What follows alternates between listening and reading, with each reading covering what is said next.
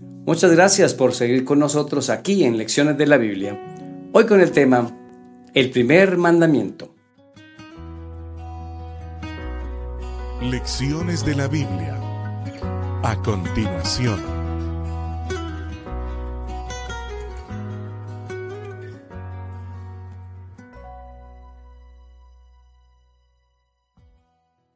Nuestro texto clave está en Marcos capítulo 12, versículo 32 al 34.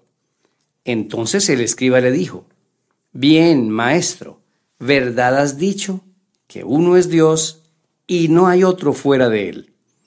Y el amarle con todo el corazón, con todo el entendimiento, con toda el alma y con todas las fuerzas y amar al prójimo como a uno mismo, es más que todos los holocaustos y sacrificios.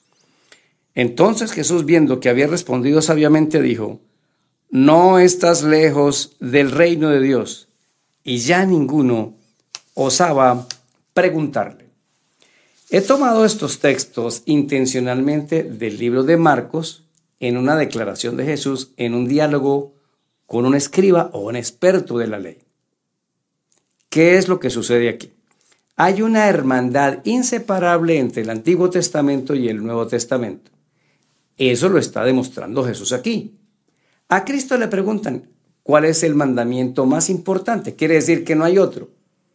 Amarás al Señor tu Dios con todo tu corazón, responde. ¿De dónde sacó Jesús esa declaración? De Deuteronomio capítulo 6, versículo 4. Pero Jesús añade, pero también tienes que amar al prójimo como a ti mismo.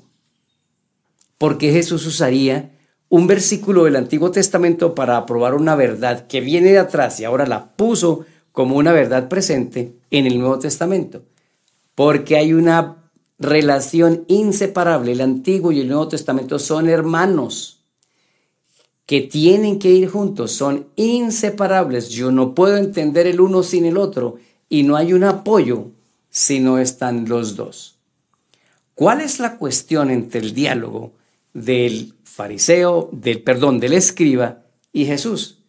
Están queriendo aclarar los mandamientos y Jesús lo resumió. El primero es ama a Dios sobre todas las cosas.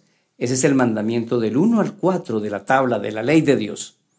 Pero dice también tienes que amar al prójimo, del 6 al 10. La reacción de Jesús cuando el escriba responde que eso está muy bien y que está de acuerdo con eso, Cristo no lo regañó y le dijo, hey, legalista, estás pensando en los mandamientos, eres una persona que tiene el velo de Moisés. No, Cristo le dijo, vas muy bien, vas muy bien y estás muy cerca del reino de Dios. No nos dejemos confundir. El amor a Dios se ve en la obediencia y las dos caminan juntas como lo decíamos ayer, ni liberalidad, ni fanatismo, ni legalismo. Necesitamos un profundo amor a Dios que debemos ir comprendiendo.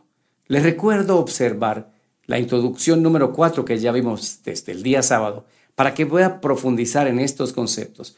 Porque el enemigo ha querido engañar a las personas diciendo, es que si yo amo a Dios, no necesito la obediencia.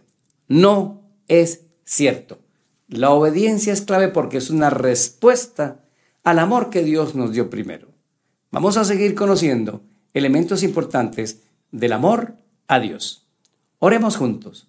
Padre bueno, ayúdanos a apoyarnos en toda la Biblia, pero sobre todo a entender que amarte a ti y amar al prójimo es el resultado del amor real. En el nombre de Jesús. Amén. Soy Daniel Herrera y deseo para todos un día lleno de bendiciones.